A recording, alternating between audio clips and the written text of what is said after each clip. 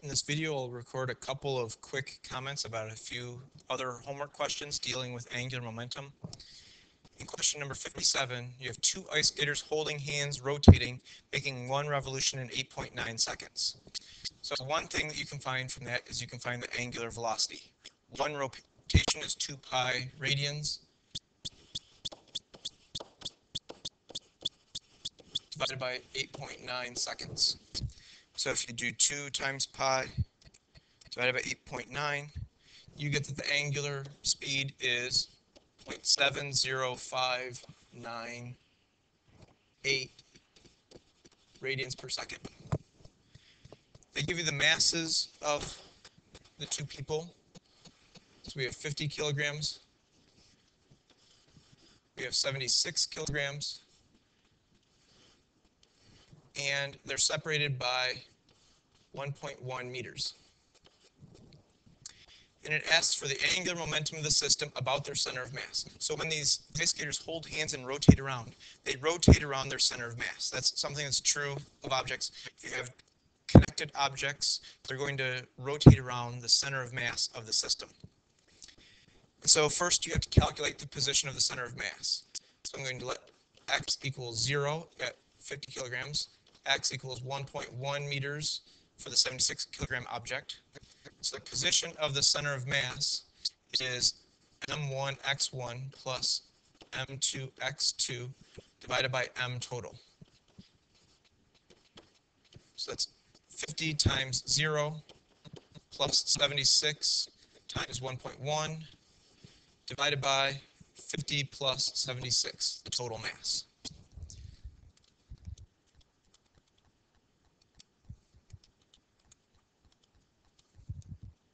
So that gives position of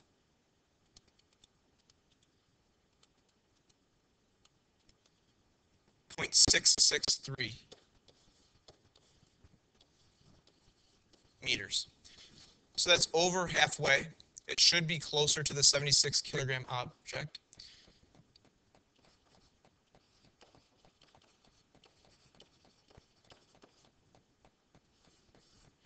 So the distance from the 50 kilogram object, since that's where we said x equaled 0, is 0.663. The distance from the 76 kilogram object is 1.1 minus that distance. So this distance, it is 0.4365. Angular momentum is rotational inertia times angular speed. We calculated the angular speed from what they gave us. What we need to calculate is the rotational inertia. So the rotational inertia is going to be m1 r1 squared plus m2 r2 squared, where r1 is the distance from the 50 kilogram object to the axis of rotation, and r2 is the distance from the 76 kilogram object to the axis of rotation. So r1 is the 0.663 meters, and R2 is the 0.4365 meters. So the distance of those objects to the center of mass. So the rotational inertia is going to be 50 times 0.663 squared plus 76 times 0.4365 squared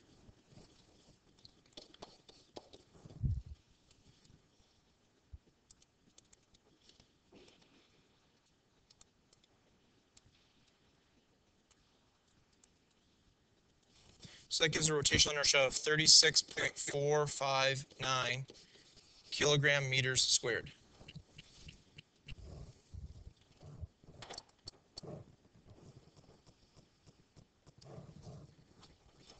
So the angular momentum of the system is going to be, again,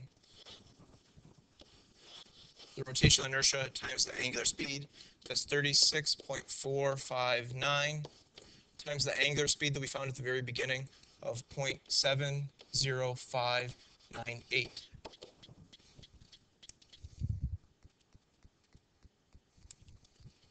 So that gives an angular momentum of 25.739 kilogram meters squared per second squared.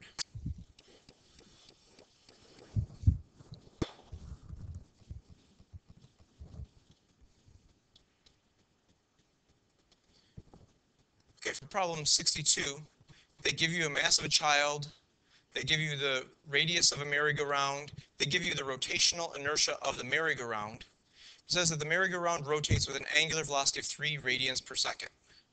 And the child is sitting at the edge of the merry-go-round. An important thing, the rotational inertia that they give give you for the merry-go-round is only for the merry-go-round. So when the child is sitting at the edge of the merry-go-round, the total rotational inertia is the rotational inertia of the merry-go-round. Plus you need to add in the rotational inertia for the boy. So this is 79.9843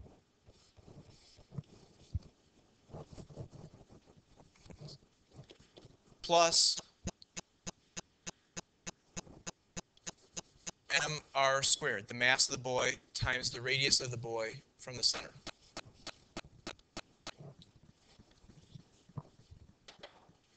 So the total rotational inertia is 79.9843 plus 54.4 times 1.3 meters squared. So that gives a total rotational inertia of 171.9203. So this allows you to calculate the initial angular momentum of the child and the merry-go-round together. So this problem would have been different if it was just the merry-go-round spinning and then the child dropped onto this. You wouldn't have to worry about the rotational inertia of the boy at the beginning. But because the boy was on the merry-go-round as it was spinning, you needed to treat the total rotational inertia. And the rotational inertia they gave you was only for the merry-go-round by itself. So the initial rotational inertia, or the initial angular momentum, is going to be the initial rotational inertia of 171.92 times the angular speed that they give you of 3 radians per second. That initial angular momentum is 515.76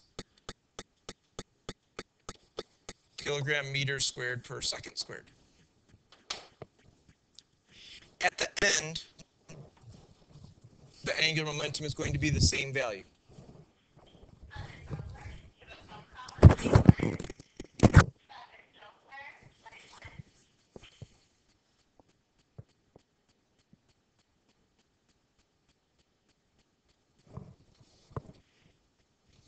So to calculate the rotational inertia afterwards,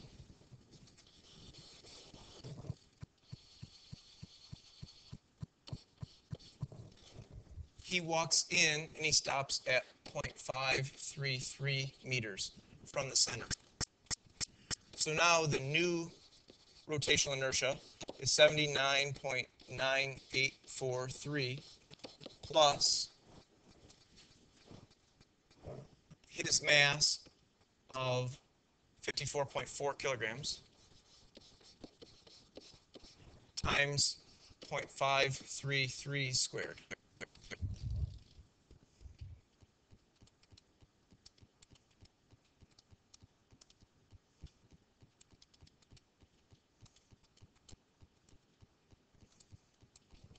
So that gives a new rotational inertia that's smaller it's just 95.438 instead of 171. But the angular momentum has to be the same. This is just like the demonstration of pull standing on the platform with the weights sticking out to the side and then pulling those weights in. The angular momentum stayed the same. The rotational inertia decreased. This means that the angular speed is going to have to be bigger. The final angular momentum is going to be 95.438 times the final angular speed, but that still has to equal 515.76. So if I do 515.76 divided by my new rotational inertia, I get the, this merry-go-round speeds up to 5.404 radians per second. So it's not quite twice as fast, but it does speed up.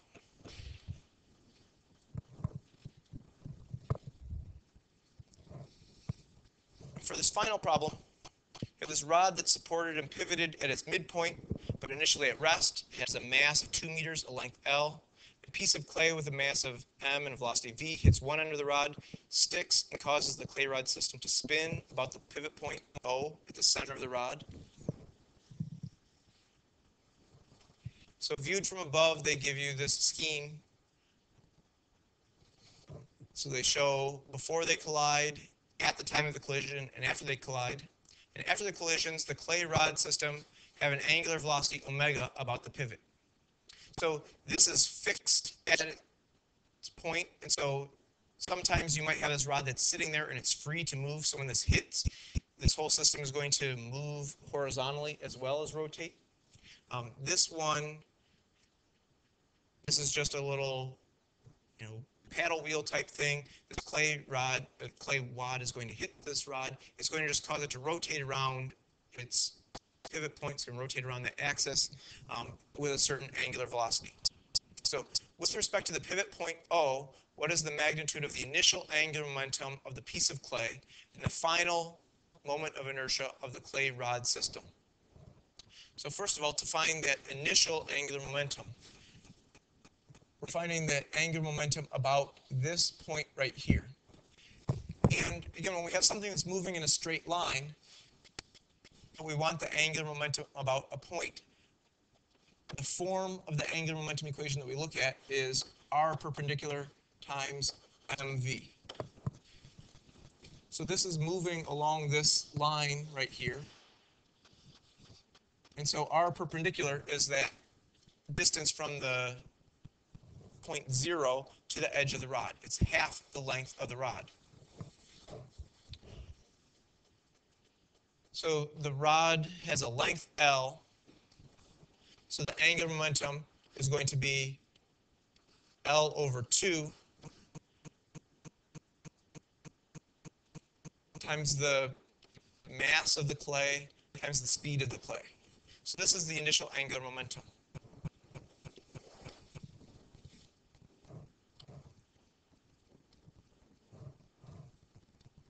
The final rotational inertia of the clay rod system.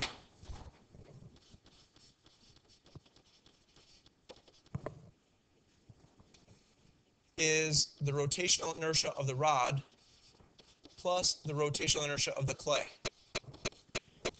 So we're looking at diagram B. So the rotational inertia of a long uniform rod rotating around its center is one half it's 1 12th times the mass of the rod times the length of the rod squared. 1 12th ml squared. But we don't just have the rod, we also have the clay. So we have to have the mass of the clay times the distance from the clay to the axis of rotation. So I'm going to call that r squared Again, we have 1 12th, the mass of the rod is 2m, the length of the rod is L, the mass of the clay is m, that distance that we use for the rotational inertia for the clay is L over 2 squared, and you can simplify that.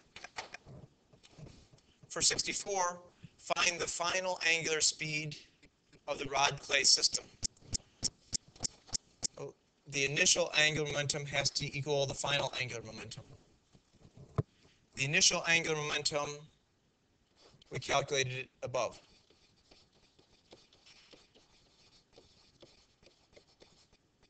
The final angular momentum is going to be the final rotational inertia that we just calculated times this final angular speed, which we're trying to find. So I'll leave it to you to go through and solve for those values, but that's what this question is asking. This is a pretty common thing to have something that's moving in a straight line and it hits something and starts rotating. But that thing moving in a straight line does have angular momentum about a point. As long as it's not moving directly towards that point, it does have angular momentum about that point. So these are the types of problems. These are extremely common problems. You should look at these. There was some multiple choice questions that dealt with this on the homework. And there are definitely parts of response questions that happen every once in a while that deal with these types of problems.